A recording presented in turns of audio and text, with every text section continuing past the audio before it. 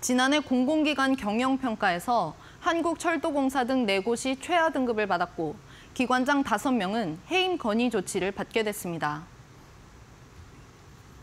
오늘 정부가 공개한 공공기관 130곳의 지난해 경영 실적을 보면 최고 등급인 탁월 등급을 받은 곳은 한 곳도 없습니다. 철도공사와 보훈복지의료공단 등 4곳은 최하 등급인 아주 미흡 등급을 받았고 한국전력과 토지주택공사 등 14곳은 미흡 등급이었습니다.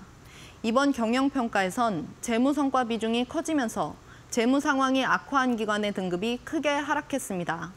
아주 미흡이나 2년 연속 미흡 등급을 받은 9개 기관 중 재임 기간이 짧거나 이미 해임된 한국철도 사장을 제외한 기관장 5명에게는 해임 건의 조치가 내려졌습니다.